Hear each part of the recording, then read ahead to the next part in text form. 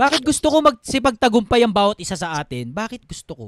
Kasi kanino ako mag invest Kanino ako mag-invest? Doon sa mga taong nagsimula ng negosyo dahil may pera sila? Hindi ako mag-invest doon. Pangit na patotoo sa future yun eh. Kasosyo, may tatanong lang po ako. Ang gusto kong magtagumpay, yung galing sa wala. Yung nagpatunay na kahit wala kang puhunan, magsimula ka sa pre-sale, magsimula ka, lahat ng prinsipyo pinagsasabi natin, gusto ko kayo yung magtagumpay. Para sa future, yan din yung sabihin nyo at marami ring makinig sa inyo. Na kahit wala kayong pera, mga kabataan, kaya magsimula. Na hindi nyo kailangan ng puhunan kasi nagawa ko. Nagawa nyo.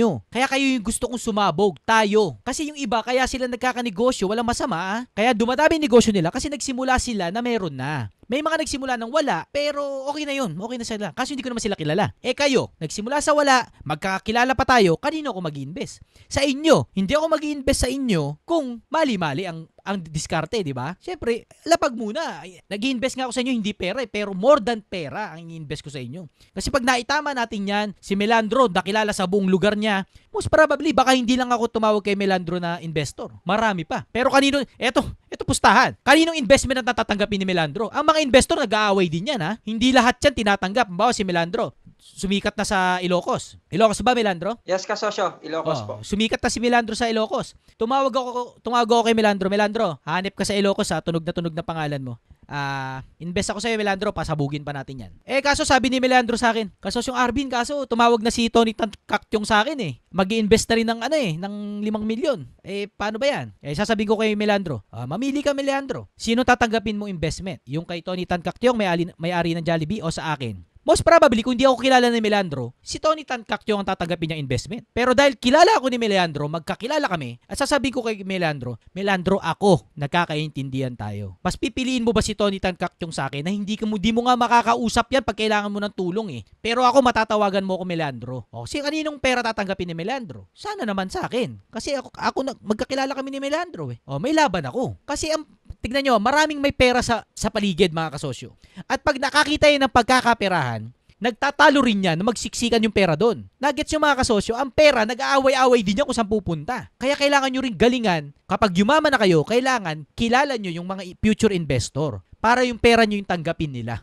Totoo na may pera sa investment. Totoo na may pera sa stock market. Kung nasa simula ka naglagay ng pera, hindi yung nasa stock market na. Kaya ang, promo, ang progress natin, start small business, pasabugin yan, at eventually may tatawag sa'yo para pa- para tulungan kang palaki ng bu- buong sa buong Pilipinas yan. Sino yung tatawag? Kung hindi kayo naniniwala sa akin, isipin nyo, maaaring ako yung unang tumawag. Kung hindi ako, meron pa rin iba. Imposible ba na maging bilyonaryo? Hindi. Kailangan nyo lang maging malupit sa isang produkto. Isang produkto lang. Pag kayo naging pinakamalupit dyan, may tatawag sa inyo na may milyones. At sasabihin sa inyo na mag invest sila sa inyo para, su- para sumabog pa yung negosyo. Wala mag invest sa inyo kung meron kang burger, tas meron kang sisig, tas meron kang shawarma, tas meron kang tea. Wala pong mag invest sa inyo kasi alam ng investor na wala tong focus. Hindi magtatagumpay yan, walang focus eh. Yung negosyo niya kung ano-ano eh. Kung nag-iisip kayo, sino kaya yung tatawag sa akin para mag-invest? Isipin nyo, maaaring baka ako. Baka ako. Malay nyo ako. Pero hindi ako tatawag kung ang dami yung produkto. Kasi hindi natin madadala yan doon sa buong mundo. Kasi dami. Ang gulo eh. Tapos pag tinanong kita, ano pa ba ibang negosyo mo? Ah, kasosyo, meron pa ako ano. Bawa, magbibigay na ako ng investment. O sige, ito na. Eh teka, ano bang mga pinagkakabalaan mo, Melandro? Ah, kasosyo, ano ako? Nagbablog ako, nag nag-ano po ako, ah, nagbabike po ako, biking po ako, active po ako sa biking, tapos nagma-mountaineering din po ako, tapos tapos nalaman ko kung ano-anong pinagagagawa nyo. Lit, lito kayo sa buhay nyo. hindi na ako mag-invest. Bakit? Eh, hindi ka nakapokus eh. Paano kita pagkakatiwalaan as entrepreneur na mapapalaki mo tong negosyo with the help of the with the help nung pondo, nung funds na ipapa, ipapasok, i-inject natin sa negosyo mo. Kung lito ka. Yung mga tao sa taas, napunta yun doon kasi nag-focus yun. At naghahanap din sila ng mga tao na may focus. At hindi sila mag-invest sa taong walang focus. Ang daming pera sa taas, mga kaso. Yes, kasosyon Jason, kasosyon Jason. Ah, karamihan kasi sa atin yung parang go with the flow eh. Pag ano yung crowded, doon sila, kung ano yung mas ano sa, tulad ko, social media, sa mga taong, kung ano ang nag-invest sila, yun, pupunta na rin yun sila.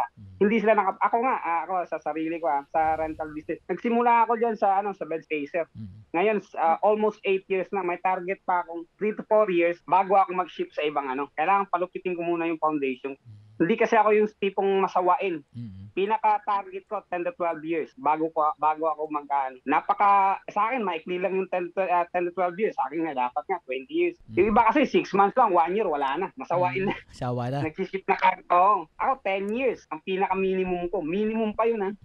Dapat kasi doon ta- tama yun kasi yung Arvin yung sinasabi. Talagang mag-focus kasi doon ka ah, doon ka sasabog eh pag-focus. At doon na sa, hopefully, uh, in God will, after 20 years, magiging money bilyar na ako. Walang haha yun ha. Oo, Totoo tama. lang. Walang haha. Mm, Walang haha. Oh, walang haha. Ah, kasi yung Arvin, God bless kasosyong Jason. God bless you. Yes, Hello. kasosyong Jeff, Jeff. Jeff. Ito, kasosyong, kasosyong Jeff. Sensya kanina, hindi kita napapasok. Kasosyong Ah, Jeff, ano okay, yun? okay. Ano yun? Ano yun? Ah, may tatanong ako sa franchising ng ano ni Mang Inasal, ni Mang Inasal. Ah, ah, ah. Ah, 'di ba binenta niya yung ah, Mang Inasal niya Mm-mm. kay ah, Jollibee? Mm-mm. Tama po. Ah, itatanong ko kung nag-franchise ba siya o nag-branch out muna tapos binenta niya lahat. Ah, marami, ganito ang nangyari sa pagkakaalam. Chismis lang ah. Chismis sa lang. chismis, sa chismis lang po. Ah, ah, marami ng branch si, ano, si, sino yung lalaki po? Ah, Japsia. Injap, Injap. Si Injap Sia po, si Sir Injap Sia, mara, marami ng branch yung mang inasal niya. And then, threat na po yun sa Jollibee. It's a threat. It's a threat. Kaya is, kapag malaki ka na, is either ah, gumawa ka rin ng katulad ng ganung negosyo or bilin mo na lang yung negosyo na, na yun. At least hindi maging kalaban. So, inoopera ng Jollibee si Injap Sia na bilin yung mang inasal. Pero may shares pa rin po si Mang Injap yata sa mang inasal. Meron pa rin. Pero yung malaking shares mo, nasa Jollibee na. And then, 1%. ah, ilang ba percent po ba? Hindi ko sure ah. 1. Ah, one. Wala nakakaalam. Medyo sikreto na yung mga, mga yun eh. Ah, Kasi di- pag ah, hello, hello. Yes, kasasyon, Jeff. Kasi pag halimbawa nung kay ano, Milandro, Milandro, Ah. pag nagpa-franchise siya, pwede niya mabilhin ulit yung ano, pina-franchise niya. Ano ulit, kasasyon, Jeff? Sorry. Ah, halimbawa, nagka-franchise siya sa iba, di ba? Ah, ah. Tapos ah, gusto niyang bilhin ulit yung pina-franchise niya, tapos ibenta niya sa para ibenta lahat. oh, pwede talaga yon. Kaso wala ngang, ano eh, ah, yung end of terms na clause dun sa kontrata nila. Pero pwede yung ganon, pwede. Pwede. Kung nandun dun sa Ah, kontrata. okay. Na, halimbawa, si Melandro, ayaw niya na nung franchise na yon. So, hindi niya na i-renew. Kasi na, na-expire po ang franchise agreement. In every 3 years, magbabayad ka ulit ng franchising fee. May ganun po yan. Hindi po yung nag-franchise kayo one time forever na. Ang nagpapalakad lang po nun yung mga putyo-putyong syumayan. Na mag-franchise ka ngayon, forever na kayong franchising. Ah, oo. oo. Kalokohan lang po yun. Kasi 3 years from now, sarado na rin yung kumpanya na yun. Ang agreement po ay na-expire ng 3 years o kaya 5 years. So, halimbawa, ayaw, ayaw mo na sa kanya, wag mo na i, ano, approve. Renew.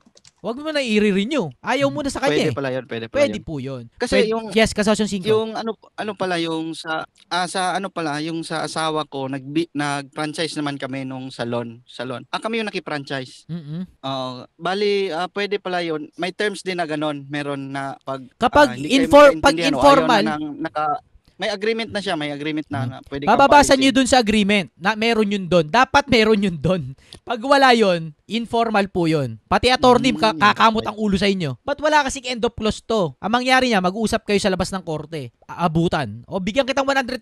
Stop na natin to. Ano? Eh, Ah, kakasama na tayo ng loob eh. ko. Oh, Ah. mag-usap na lang kayo. Ayaw na kitang franchisee. Eh, ay yung kausap franchisee mo, gusto pa rin. Eh, ganito na lang. Antigas ng ayaw mo, antigas ng ulo mo, ayaw ko na makita mukha mo. Bigyan kita nga 50,000, pi- 50 mil. Tigilan na natin to. O, pag tinanggap niyo yun, di tapos. Eh, kung may terms ka na, kapag pag kumuha siya ng supply sa iba, automatic, Oo. terminated ang franchise agreement nyo. Eh, kaso walang terms. walang laban. Kahit sinong potso pila, kahit sinong attorney pa ano, tatawa pa tayo, ta- tatawa lang yun. Walang terms of ano eh. Ah. Dissol, ano, ewan ko tawag doon, yung dissolvement ba yun? Ganun? Yung terms of ending, ganun. Terms of contract parang, pa sa'yo. ano, third- Mm. Third party. O siya yung ano. Sige sige, yun lang po, yun lang po. Sige, sige. Ah, okay na, move on na tayo mga kasosyo. Ang ganda ng usapan na yun. Salamat po sa pakikinig ng ano ng usapang focus na naman, no? Hindi ba yung sasawa sa focus? Ako nagsasawa na pero alam ko hindi natin dapat pagsawaan 'yan. Dahil pag yan ang natutunan ng bawat isa mga kasosyo, nasabi ko sa inyo. Sige, nasabi ko sa inyo, focus is the key. ah, kasosyo Lon, ano masasabi mo kasosyo Lon? Oh, mahirap, mahirap talaga aunawaan yan, lalo na kung hindi. Pero yung mga umugat na nakasosyo rito, medyo nagigets na yan. Kaya yung mga bago, medyo nagugulat din sila. Pa, hindi tayo magsasawang paulit-ulitin. Ah, kasosyo Lon, ah, sino pong next natin dyan, please? Ah, pagkatapos ni Sir Menandro, ang next po natin is si Christopher A. Kalapit bahay lang niya, Thailand. Equity business. ah, yeah, pag-usapin Ah, natin. ang question niya is medyo madugo. How to fix a fixed mind? Oh, sige. Ah, nasa ano yan? Nasa pahina, pag nakikita ko yung libro dyan sa likod natin, kasosyon lang, naalala ko yung ano, para, nagbabasa ng artikulo. Christopher A. Ah, Christopher?